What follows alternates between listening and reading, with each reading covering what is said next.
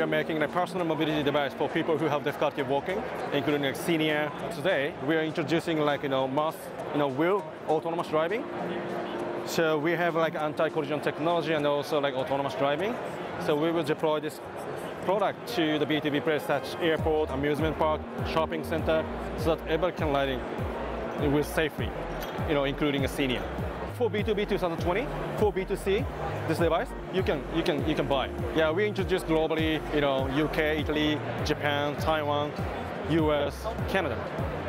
So for example, like in a, imagine like an airport. So how to get a gate, for example, it's, it's complicated and then long distance, right? If you click on the you know the, the, the, the smartphone and then the device bring you to the destination, easier and much more independent for the user.